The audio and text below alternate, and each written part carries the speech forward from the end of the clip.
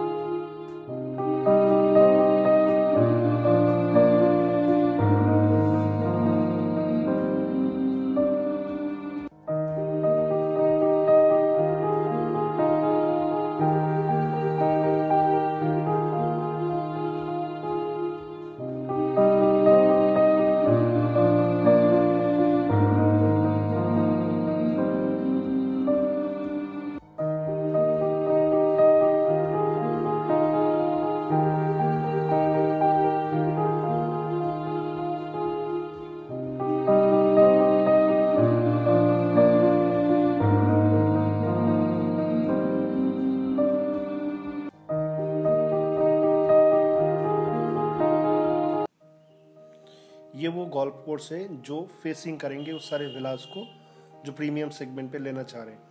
जो master plan में दिखा रहे हैं दिस एक्चुअल गोल्फ ये कुछ पिक्चर्स हैं, जो आज के दिन में कंस्ट्रक्शन है। आपने पहले जो वीडियो देखा, उसमें लोकेशंस का आइडिया दे रहा था, उस टाइम पे एकदम ज़मीन में था। ये सिक्स मंथ्स का काम है। सिक्स मंथ्स के अंदर पूरा जो जोरवा का विला है, काफ़ी हद तक तैयार कर चुका है। सी वो चाहे तो आठ महीने या एक साल के अंदर अंदर भी विला दे सकता है बट मिनिमम हम लोगों ने रिक्वेस्ट करके उनको डेढ़ साल से दो साल के बीच में रखने के लिए बोला, जिसमें कस्टमर को भी पेमेंट देने में सहूलियत हो थोड़ा। ये देखिए, ऐसे ही बनेगा। ये तो आपका फ़ेज़ वन में ये सेकंड फ़ेज़ में थोड़ा बेहतर बन के आएगा, क्योंकि उसका साइज़ थोड़ा बड़ा है। ये है location this is your phase one मिक्सन Jorbagh ये आपका लोकेशन है और इसमें जो आपको सामने की तरफ़, इस तरफ़ जो विलास देख रहे हैं, ये प्योर गोल्फ कोर्स फेसिंग होगा, जो 200 एंड 275 स्क्वायर यार्ड के आसपास होगा। But anyway if you are opting for any other villa also उसका लोकेशन से बहुत प्यारा है, क्योंकि सामने आपका पार्क आ रहा है। ठीक है? और जो भी गोल्फ कोर्स वगैरह, वो that will be accessible to each and every ये उनके लोकेशन साइजेस है। बेसिकली फ़ेज़ वन में जो साइज़ लेके आए थे 103 गज। सिंगल साइज़ था और इकतीस सौ पचासी स्क्वायर फीट का बिल्टअप एरिया था। इसमें आपका ऑल इंक्लूसिव छत्तीस सौ स्क्वायर फीट है बट इसका प्राइसिंग छत्तीस नहीं, इनके सेवन सिक्सटी परसेंट लिया जाएगा। मैंने एक टेंटेटिव कैलकुलेशंस हर साइज़ का किया हुआ है तो आपको उसमें से आइडिया भी आ जाएगा कितना आपका पॉकेट में पॉकेट से देना पड़ सकता है। जैसे ये सौ गज, एक सौ पच्चीस गज, डेढ़ सौ गज, दो सौ गज, दो सौ पचहत्तर गज, दो सौ पचहत्तर गज के जितने भी विलास हैं वो सारे के सारे गोल्फ कोर्स फेसिंग हैं। ये देखिए उनका costing this is the basic rate area almost ninety one lakh के करीब आपका कॉस्टिंग आता है आज के दिन में। और इसके टाइम में ये प्री लॉन्च का प्राइसिंग है। अगर लॉन्च के बाद भी कोई भी विला रह जाता है तो उनका प्राइस फिफ्टी फाइव थाउज़ेंड के आसपास होंगे। तो ये नाइन्टी वन लाख ये एक करोड़ पंद्रह one point four one this is your hundred and fifty square yard bare sale unit ये सारे चार्जेस मैंने जोड़ दिया including power backup club membership electric load charges तो आपको इसमें से आइडिया आ जाएगा। आप चाहते हैं तो I can send it in your WhatsApp also अब दिए हुए नंबर पे एक व्हाट्सएप कर दीजिएगा मुझे। ये गोल्फ कोर्स फेसिंग कोई अगर लेना चाहते हैं, आप इसका एग्ज़ाम्पल देख लीजिए। टू पॉइंट फाइव वन, ये golf course facing premium villa जो आज के दिन में, जिनका जो कॉस्टिंग है, गोदरेज का जो बगल में प्रोजेक्ट है, उनमें 125 गज में नॉन गोल्फ कोर्स फेसिंग का प्राइस सेम है। तो ऑलमोस्ट आधे प्राइस में आपका अवेलेबल हो रहा है। एक छोटा सा कैलकुलेशंस मेरे हिसाब से आप समझेंगे तो काफ़ी हद तक क्लैरिटी आ जाएगा, जो बिल्टअप एंड सुपर एरिया में आता है और एक विला लेना में क्यों फ़ायदा है। अगर आप इसके साइज़ की गौर करें, ये आपको कॉस्टिंग तो three three nine four square feet का ले रहा है बट आपको जो मिलता है इसमें, मिलेगा छत्तीस सौ चौहत्तर square feet three six seven four अब इस, ये बिल्टअप एरिया है। अब built up area and super area का थोड़ा फ़र्क आता है। मैं आपको नेक्स्ट स्लाइड पे दिखा रहा हूँ।